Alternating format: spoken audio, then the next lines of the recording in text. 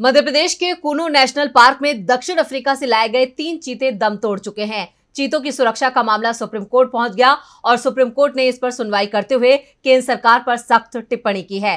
Court ने कहा कि चीतों की जान को राजनीति से अलग रखा जाए। केंद्र सरकार ये नहीं देखे कि अगर सरकार विपक्ष की है तो वहाँ चीते नहीं भेजे जाएँगे। और क्या कहा सुप्रीम कोर्ट ने? देखते हैं ये रिपोर्ट। नमीबिया और दक्षिण अफ्रीका से लाए गए तीनों चीतों की जान पिछले दो महीने में चली गई। चीतों की जान जाने का सिलसिला थमता नहीं दिख रहा है, जिसने वन विभाग और राज्य सरकार को हैरान कर दिया है। ये मामला सुप्रीम कोर्ट पहुँच गया, जहाँ आज इस मामले पर सुनवाई हुई और सुप्रीम कोर्ट ने सुनवाई के दौरान केंद्र सरकार पर सख्त टिप्पणी की है। सुप्रीम कोर्ट ने केंद्र सरकार से कहा कि सियासत से ऊपर उठकर चीतों को राजस्थान में शिफ्ट करने पर विचार करें।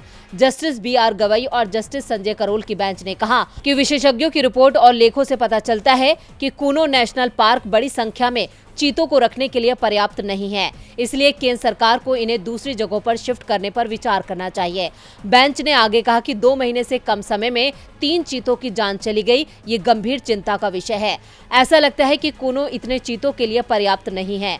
आप राजस्थान में अनुकूल स्थान क्यों नहीं देखते? सिर्फ़ इसलिए कि राजस्थान में विरोधी दल का शासन है। इसका मतलब ये नहीं है कि आप विचार नहीं करेंगे। कोर्ट में केंद्र सरकार की ओर से पेश हुए additional solicitor general Aishwarya Bhati ने कहा कि इसका संज्ञान लिया गया है। बीते दिनों साशा नाम की साढ़े चार साल की मादा चीते की किडनी की बीमारी के कारण जान चली गई। उसे करीब छह महीने पहले ही नमीबिया से लाकर मध्य प्रदेश के के में रखा गया था।